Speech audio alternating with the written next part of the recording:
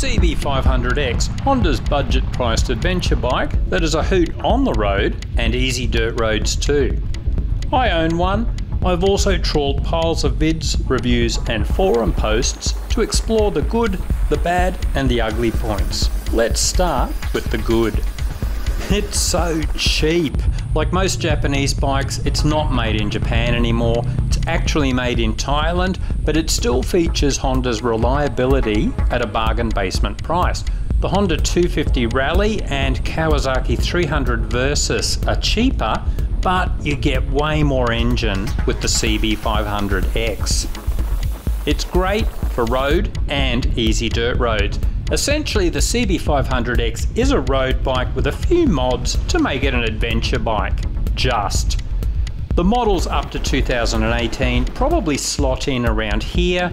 The 2019 models and on got the larger 19 inch front wheel and a bit more suspension, so they would slot in around here.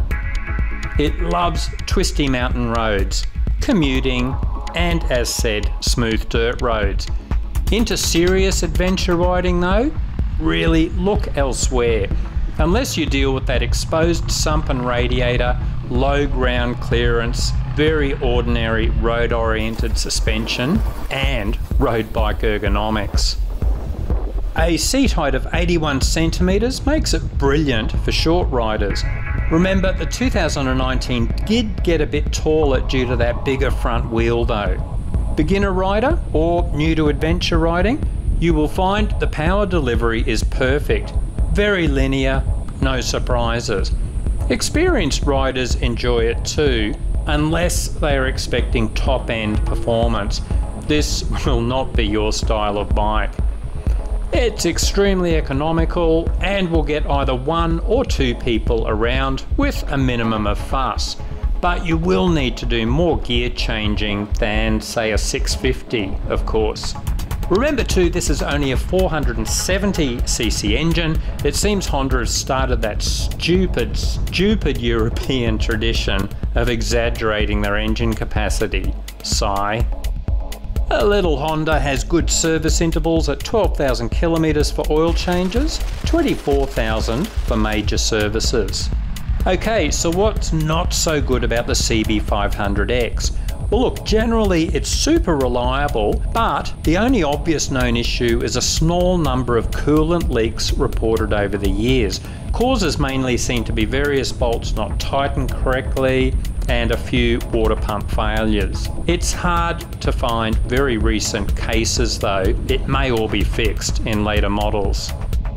It's cramped for taller riders me, I am well over six feet tall. I have to fold myself into the bike. It's easily fixed though. I installed the lowering Knight design foot pegs, repadded the seat for 15 bucks with some vinyl and furniture foam, then put in some Rox pivoting handlebar risers. The riding position is very road bike oriented. Fine if that's your thing, but try standing to get over some rough ground and it's all set up wrong. Traditional adventure riders will find the foot pegs are too far back, too high, and the bars are too far forward. The Knight Design lowering foot pegs are also further forward, which can alleviate this problem. And the Rox pivoting risers bring the bars back, if needed, for an upright riding position. The gearbox can be clunky when changing lower gears, especially on new bikes. It's made worse by very low gearing as well. Sports oriented riders will like the acceleration, but many adventure riders go one tooth higher on the front sprocket. Some even go two teeth higher, but you do need to trim things a bit to fit the 17 tooth sprocket. The clunky changes from first to second are a lot better then. Some riders have said their valves tightened up before the recommended 24,000 kilometre service. If your bike starts running rough, keep this in mind. Most riders don't seem to hit this problem though. Doing a lot of dirt, the road oriented front fender is way too short. Buy a front fender extension to keep muck off the engine. The sump is very exposed, consider some form of protection there too for a lot of dirt riding. You may also want to install an extra flap to stop mud and dirt being sprayed over your rear shock. The suspension, very ordinary, as you would expect on a budget price bike. Any spirited riding on or off road will find the limits really quickly. Get it modified or just keep the speed down and then it does an acceptably adequate job. Just.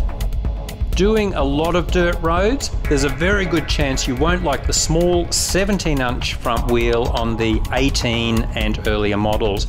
But there is an easy fix. Many are buying the high profile Shinko 705, which brings the rolling diameter much closer to the 19 inch front. You will need to drill new holes to mount your front fender higher, and the extra weight of the tyre may slow your steering down a bit, although of course many prefer that. Short riders, remember it will make the bike sit higher though. Riders with small hands may find the clutch lever is too far out. This is easily fixed with an aftermarket lever. Some riders and pillion passengers report the seat is too hard for extended rides. Me, I find it fine for a morning ride, but yeah, you may want an aftermarket seat if regularly doing day rides. Finally, a very stupid design flaw. If you replace the countershaft seal, it has a built-in flange. It can only be installed from the inside, requiring a complete engine strip down. Dumb, dumb and dumber. Most riders get around this by filing the flange down and just fitting it the normal way you do with most countershaft seals. So that's it guys, an awesome little bike and don't be deterred by this list of issues. The vast majority of owners love their bikes and never hit any issues. I just like to dig deep to discover all the known issues. Check out everyone else's reviews too and ride safe.